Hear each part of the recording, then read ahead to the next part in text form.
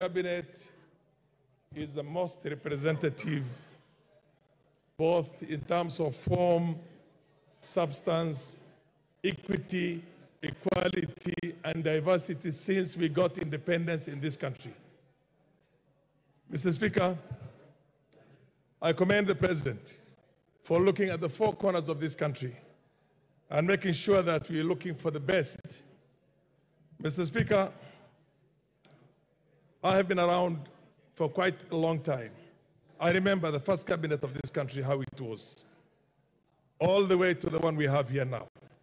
I think this country is better united today and more cohesive with this kind of a cabinet than it has ever been in the history of independent Kenya.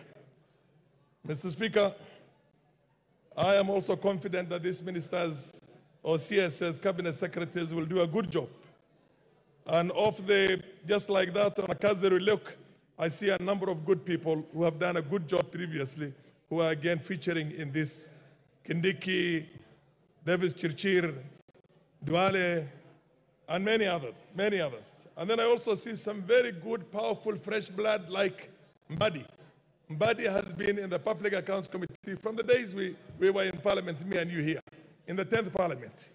So he knows exactly what goes on in. Mr. Speaker, can I have one more minute?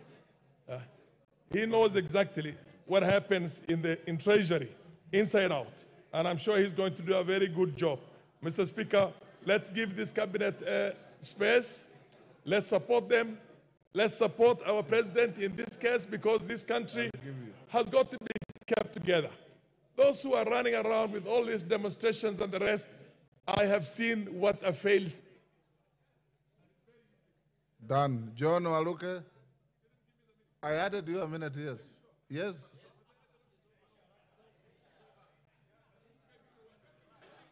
Give him one minute. Thank you.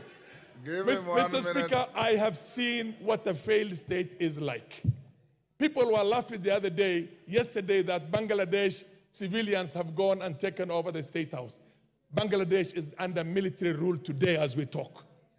It's under military rule, and watch what is going to happen.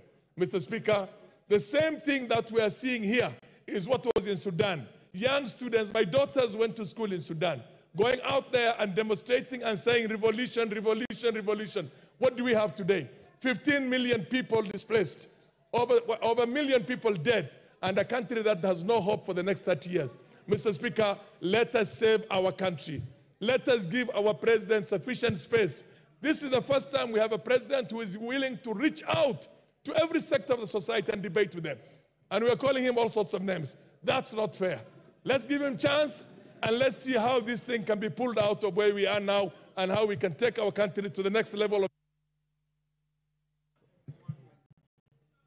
John Waluke. Thank you uh, very much, Honorable Speaker, for giving me a chance also to contribute on this uh, report, uh, committee report, Honorable Speaker. Honorable Speaker, I want to thank the President for the appointment